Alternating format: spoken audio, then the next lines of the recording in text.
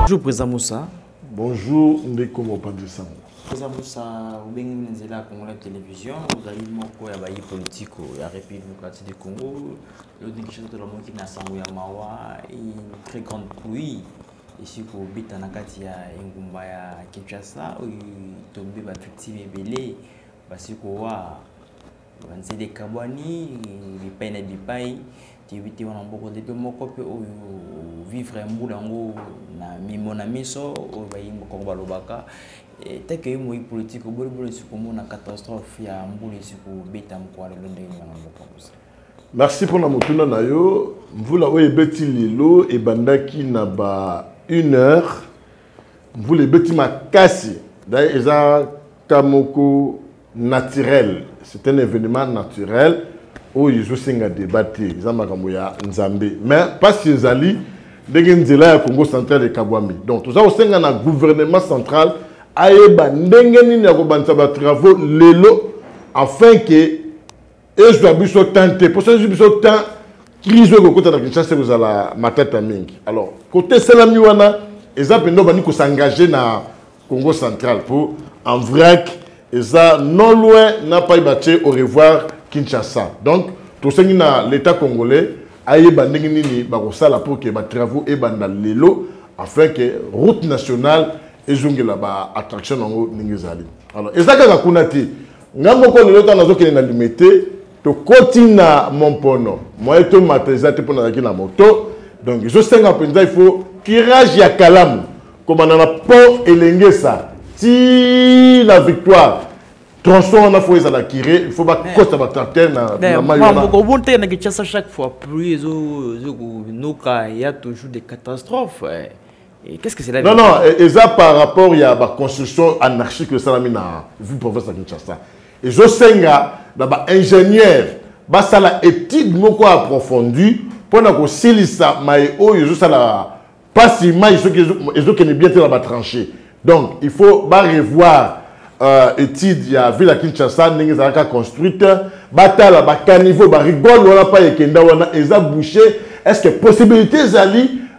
ba ba déboucher ba ba canal wana moi je dis oui euh, possibilité ezali puisque eza na ba ingénieur oyo basali beti na makasi oyo tozala bango na kinshasa soki ba bazala ba ba, ba système bazala kosala bazala bazala Mais eza- bango. eza- eza- eza incompétence ya baautorité ya ya ville te mona mboka non non eza compétence te eza ke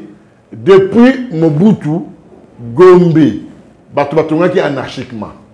Mais maintenant que sikoyo ITPR ministère aux côté de la makambo infrastructure bazali en collaboration na ba ingénieur moko bautaki na Afrique du Sud donc soki nzambe asalisi na mikolo koya makambo ya ba, ba inondation ekosila ça je vous rassure puisque eza mpenza bainformation naza na yango alors bureau d'étude wana ntango bakota encore nini euh, bakosala exposition na bango ya kolakisa ndenge nini ya kosisa ba ba ba ostanians na ville province ya kinshasa bakobanda ngo soki nzambe asalisi na rond point to na rond point ya triomphal wana entre asosa na wileri pai mai etonda mama mingi wana baya kosala batravau esika wana mpona kotala ndenge nini bakosisa makambo ya baostanias na kati ya ville province ya kinshasa donc de ce côté là je vous rassure que makambo ya ekosila alors mpona makambo etali barigole possibilité ezali système ya batranche esila tranche ezali nde tolobaka terrasse caniveau hmm. eh, terrasse me babe yango na terme technique babe yango tranche nde epai mai elekaka me biso moko bakinois mpe toza bato ya liboso ya kokende kobwaka biloko na batranche olie moto ya pusu soki aleki opesa 500 na yo no yo préfère obwaka bamoto ya pusu yango ba akobwaka te biloko yango non non eza na baplace na na camping eza na ba place bakenda kobwaka ba matiti kuna eza na ba place soki euh, office de route na ovd baza ma, en collaboration na, na, na ville du province ya kinshasa makambo wana ekosila biso bakinois makambo ya kodebrusaka bamatiti na biso na batranche il faut totika système wana yango moni tokomi kolela na kolela donc lelo na mombele bato bakufi mpo na nini mvula ebeti makasi bandako oyo etongama mwa kala babrike bamire ebukani bato bakufi na kati donc bavictime bazali ebele comme eza ka moko naturel topesi kaka nzambe merci lokola makambo moko esalami mai tosenga na ye ayeba meme koatenue mpo soki mvula ebeti su makasi tokokonaître bamort ebele tolingi bato bakufa mingi te nzambe tosengi na ye azala clément soki mvula ebeti ekoka koboma bato te mpo ye nde motu azopesa biso vie soki ye alobi bato bakufa bato bakufa soki alobi bato bakufa te bato bakufa te donc tobondela nzambe makasi afin ke soki mvula ebeti toconnaître badega te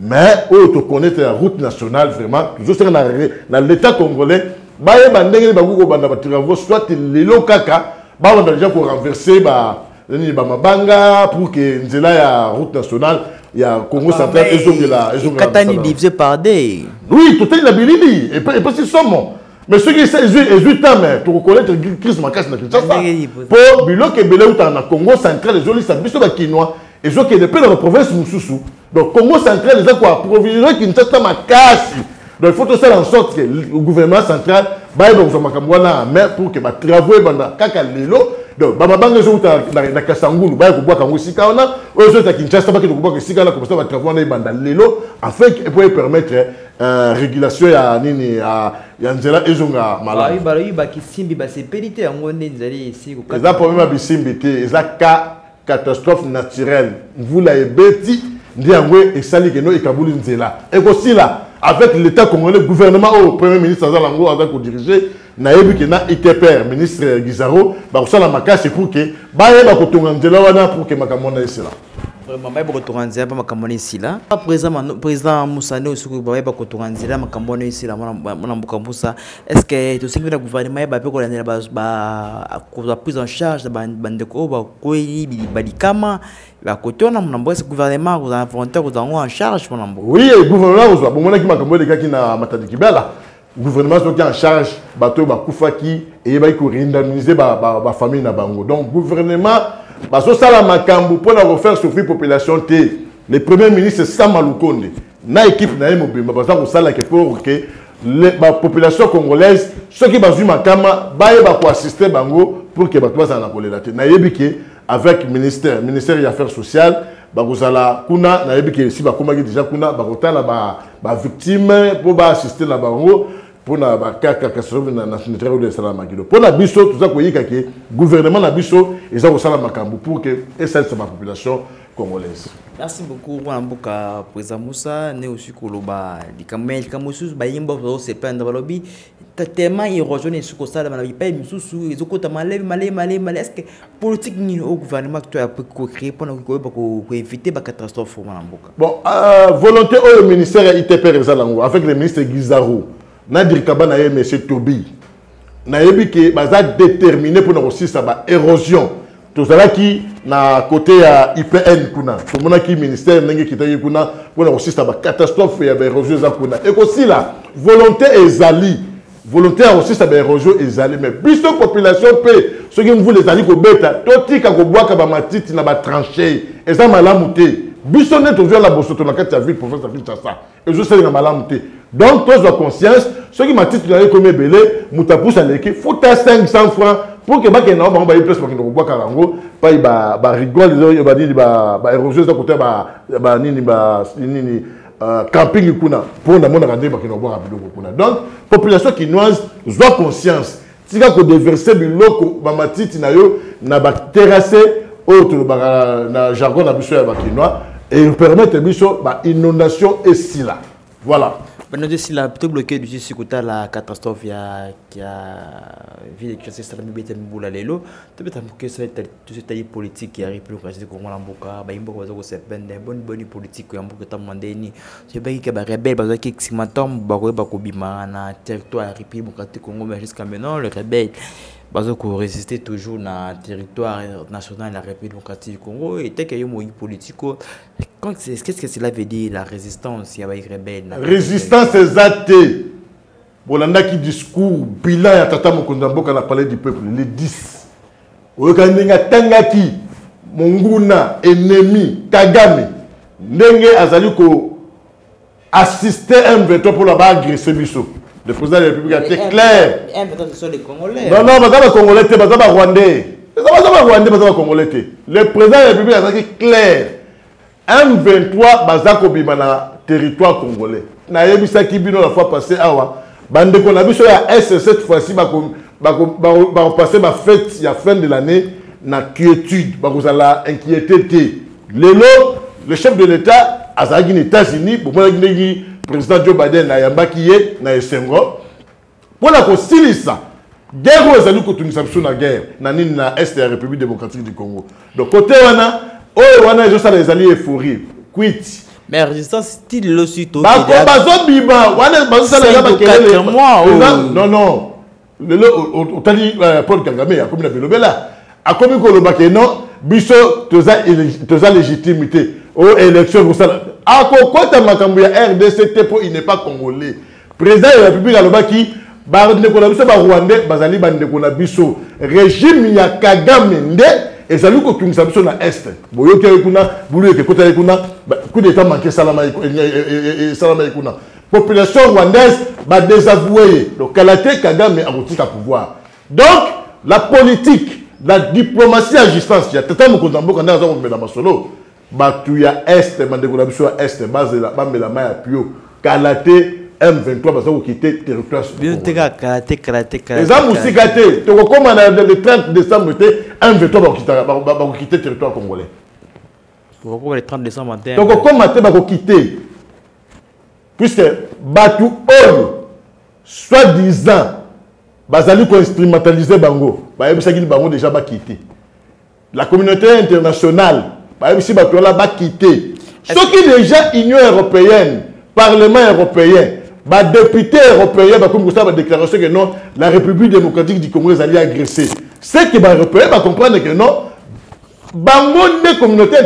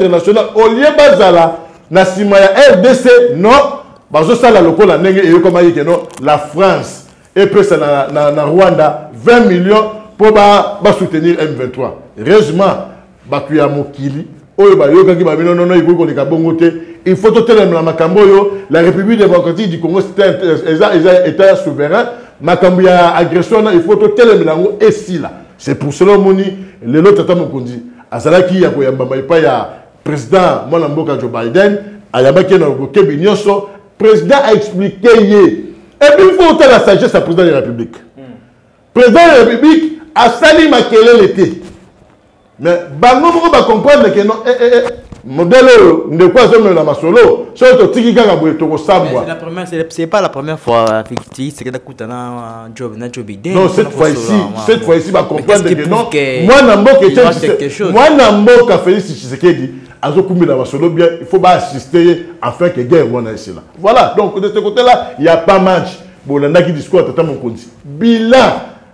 baréalisation bomonaki ndenge population azalaki d'accord na chef de l'état no kote kuna population to milita ba idps non non toyebi na bato ya parti mosusu kuna ils étaient d'accord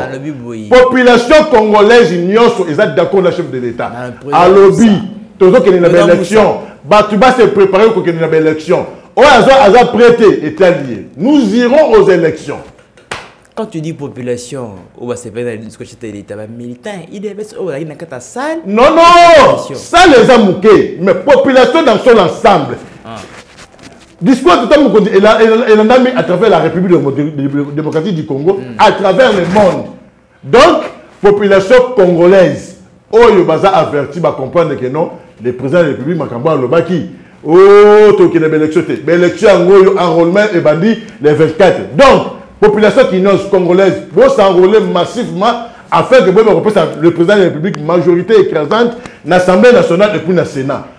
soki bolobi boki kosanrole te bino boka bobanda kolela bokende kosanrole massivement mpo na kopesa le chef de l'état félix antoine tshisekedi la majorité écrasante na assemblée nationale et puis na sénat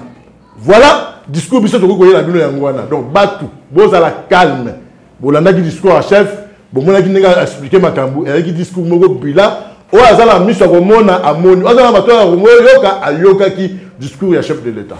oyo aza na miso koyoka ayokaki discours ya chef de l'état ye de la part na bino famille politique na ye borecevoir discours wana vraiment massive vraiment na kitoko tuna elengi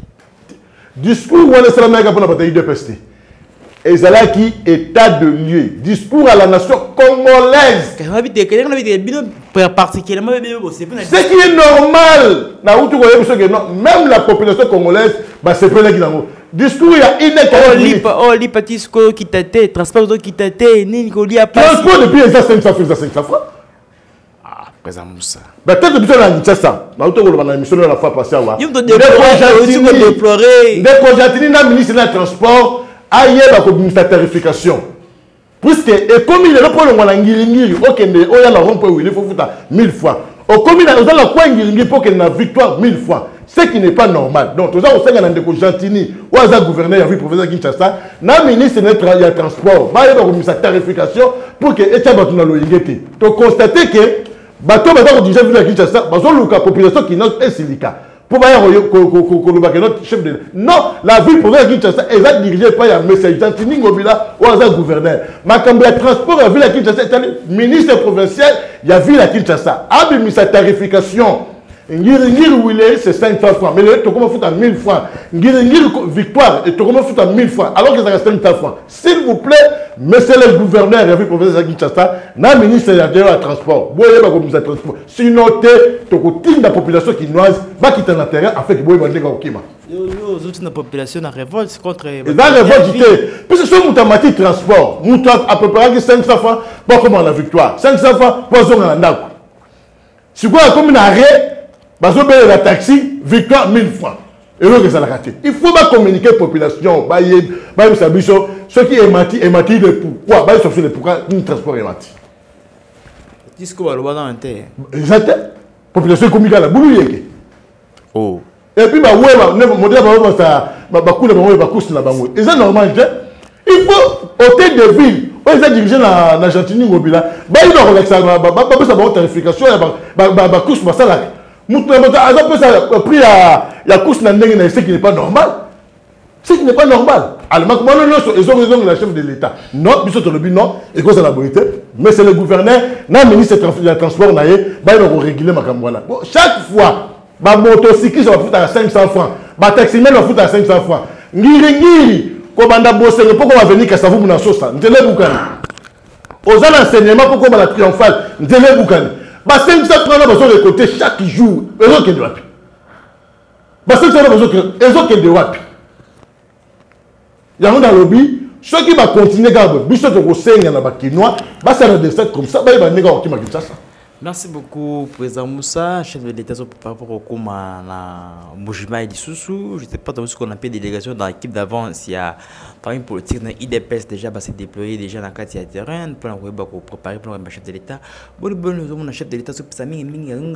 Kasai, Kasai, Kasai, qu'est-ce que cela veut dire Ah, papa, jeudi passé, Zalagi na Congo central. na province d'origine na ngai moi-même na accompagnaki ye tetete kasai kaka te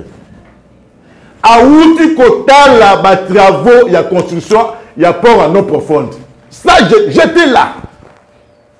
azalaki na deux activités na congo central abandaki na port ya banana construction ya port ya no profonde aye kosisa na baki na baki epai wapi population kinoise bayokelaki mbele ya tata mokonzi de 10500 recrues ça j'ai vécu basoldat bazwaki baprime na bango ça j'ai vécu basoldat babeteli ngai masolo daye naprofite na occasion mpo na koyebisa yo ke non tosengi na chef de l'état basoldat baza kolela na ka ya baki pusi baza na se trois rouge epuis na ka mosusu kombe echappe ngai baza na difficulté ya mai na courant bakendaka kotoka mai bakilongola na bandako na ba 20 heures mpo na kozela mai ti bazonga na ndako na bona ba 5 heures ce qui n'est pas normal alors que na cas des officiers kuna pai bagénéraux ba bazali bamajor bacolonel kuna mai na courant eza en permanence na cas na toit rouge problème ezali moi j'étais na, na, na mwanda nasololi na basoldat nazwi information wana ye moko tata mokonzi alobaki akosuka kaka kosolola na baofficier te akosolola mpe na bambolombolo donc bakaporo akosolola na bango to encourage eloko wana Non seulement ça, ba soldats balobi kolia sikoyo ekomi ya malamu na soins médicaux ça va. Mais problème ya transport bazalaka na bus moko. Wana nga moko namonaki oyo nazoloba. J'étais là na Mwanda. Donc de ce côté là, ba militaires d'accord na chef de l'État puisque ba primaki bango mo eloko, ba sepelaki na eloko wana ba primo bazwaki. De ce côté là, président wana azobela Congo central. Sikoyo na Kasaï. Depuis président azwa pouvoir, oyo ozala deuxième fois akita na Kasaï. ntango bozoloba aza tribal nga nazokamwa le chef de l'état mwasi na ye moto ya grand kivu le chef de l'état atanga na congo central aliaka mingi nsakamadesu sikoyo kokende na congo na nini na kasai ezali par rapport ya baréalisation ya banzela oyo basali na baconstruction ya baekole basali boyokaki kendeko mutombo kadi euh, mutombo dikembe atongaki ekole moko kuna centre de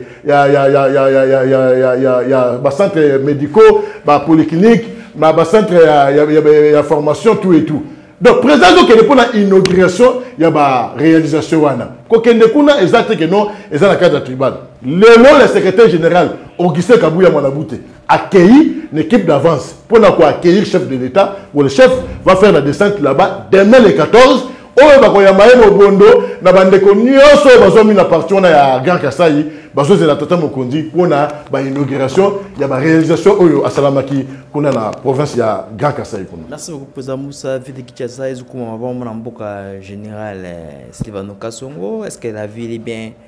géré par euh, général Kassongo sur plan sécuritaire. Non, non, pour la makambo ya sécurité à ville province à Kinshasa, nazo rassurer bino que le secrétaire général Kabuya a asenga ki na biso to dans la collaboration na ba sociat na ba siat. Pa wapi to komona kuluna to dénoncer. Ti lelo biso toza kosala dénonciation. Na za mutu ya fona. Précisément na commune na Ngirengiri. bayi bakuluna bazalaka mingi ezali selemba ou makala bumi nautaki koloba la fois dernière awa que bouclage esalamaki na selemba ou na makala epuis na, na bumbu bakuluna bango moko baye komitika balobi no makambo bazali kosala eza malamu te fo batika makambo ya kuluna le général kasongo topesi ye longona losako na mosala azali kosala me tozali kosenga na vp maselo oyo azali ministère na bango de tutelle bayeba kodote la police bibundeli oyo okosala ke no bakuluna so bazoya koatake la police bakuluna bakota na basociati te mpo ke bakuluna bayebi ke no la police baza vraiment arme te baza outie te na babiloko tozosala la vpm aselo daniel oyo azali ministre ya intérieur ayeba kodote na la police bibundeli ya makasi c'est-à-dire bamatrake oyo ekoneutralise ba bakuluna na bangondo oyo kosalaki so kuluna asali babeti kaka ngondo moko kuluna ayeba kotika makambo wana donc to encourage le général sivano kasongo na mosala makasi azali kosala na 4 district oyo toza na yango en tout cas kimia ebandi kozonga to ya kuluna ekomi kokita na se topesi yo longonya continue boye biso euh, tozali bato ya parti ya udps toza nsima na yo mais soki mpe tomoni mbeba tokoya na etando moke mpo na kolobaka non ne général ozotambusa makambo mabe